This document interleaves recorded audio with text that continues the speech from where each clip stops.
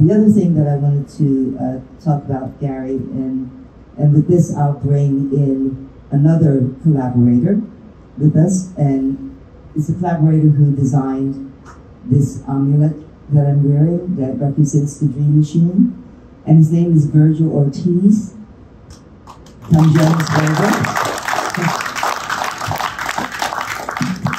Virgil, if you would like to, Virgil, I've known for, how long we've we known each other now? A few years? Since the Kennedy Center, I think? Yes, the Kennedy Center. We were, yeah. we were on another uh, uh, project with Carrie Mae Weems. Uh, uh, Carrie Mae did a parade at the Kennedy Center about moving into the future, and she cast me as the future. And, and, and, and Virgil dressed me as the future, and it was amazing.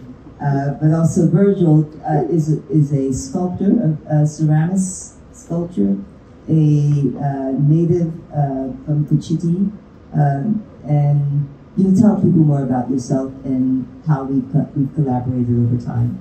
Okay, great. First of all, thank you, Nona, for gathering all our all these creatives together to give us a, a soapbox or a, a, a microphone to tell our stories and to share what we do. That's um, I, since the first time I met you, that's what you've done. You treated everybody so nicely, so uh, your energy is like so big, so inspirational. Like when I was doing a workshop at the, the new wing at the Kennedy Center, and you had visited Santa Fe, and you had came, a mutual friend Joanne brought you to my show that I was doing in Santa Fe, and you had asked me to create a, an outfit for you. I basically just about passed out when you said that because knowing of like how iconic you are with uh, uh, being a futurist and all your really cool outfits like way from the start. So um, I said, okay, like when are you going to do it? She goes, it's in two weeks. okay, we jumped on it right away, and I said the first thing we're going to start is um, for picking out some thigh-high um, chrome stiletto boots.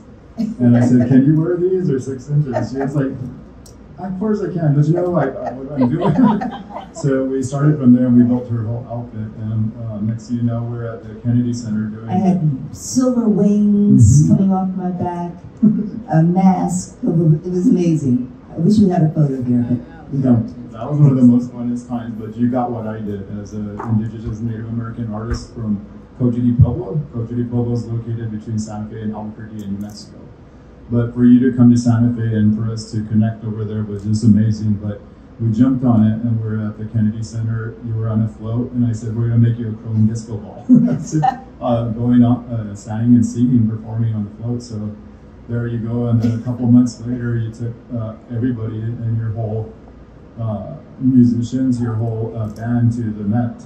And you said, Can you please design my stage and the rest of all the outfits? I said, I'm there. And it's just amazing how you inspire people. Like I had, I brought some uh, some students that I was working with at ASU, so I took them in as interns, and I try to um, pass on the blessings that have been given to me by people like you, to be able to inspire them and what you did for me, and like that friendship just grew stronger and stronger. Um, I mean, it's just amazing to be able to work with and to be able to educate globally about um, Native American history. Where I'm from, Cochiti Pueblo, is like most people don't know about the 1680 Pueblo revolt, and that is my main uh, reason why I feel I'm on this earth is to educate globally about what happened to the Pueblo people uh, uh, using art.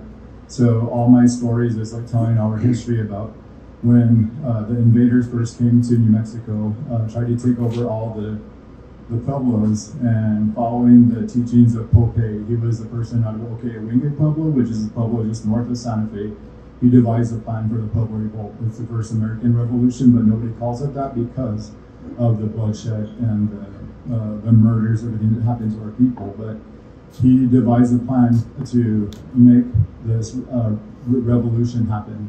He brought together over 40 tribes, uh, 40 pueblos in New Mexico.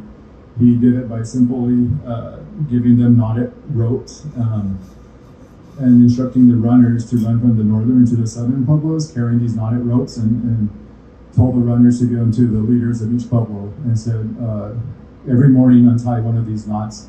When the last knot is untied, the whole pueblo rises up and pushes out the invaders. So finally this happened and it was America's first revolution again because it's not taught in our schools, it's not in our history books, but to be able to collaborate with you, uh, giving us this chance to do this is like priceless to me, and I really um, thank you for doing that. Thank you, Virgil. Yes. It's, it's, very important for me, and it was very important to have uh, the Lenape uh, Center and the Lenape people open this whole installation on uh, the 12th, and to have a, a chief and the people come here and bless this installation, and also uh, not to welcome us to the space or to this land. And that was really important that we had that opening in that way. And it's very important for me that you are a part of this installation. Your work is a part of the AR experience out on the plaza.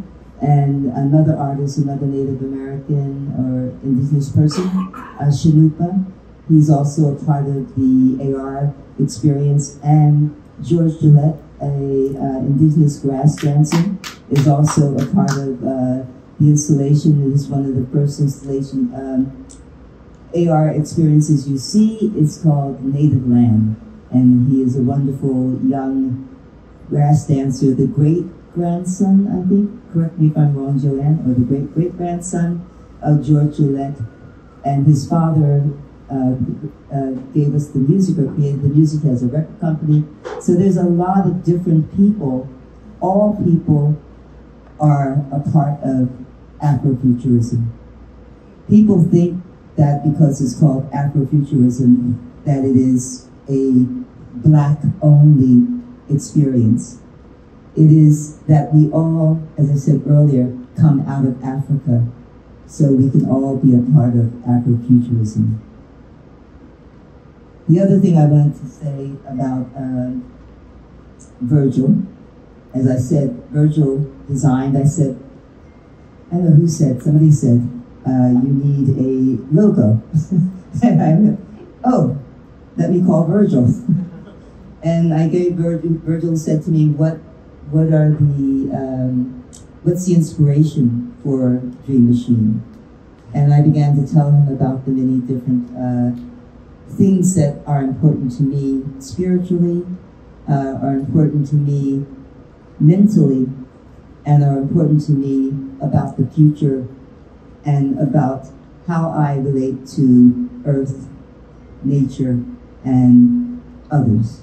And so he began, he said, let me think, and I think it was uh, just a few days, and he came back with some designs, and we went through a couple, we turned it upside down, we did a couple other things, and uh, this is the Dream Machine logo that Virgil designed for me. So thank you very much. Just for that. And I don't, am I missing anyone here who should be here seated with us? I think Skin. Reza. Reza. Where is he? Oh, he's always hiding. The light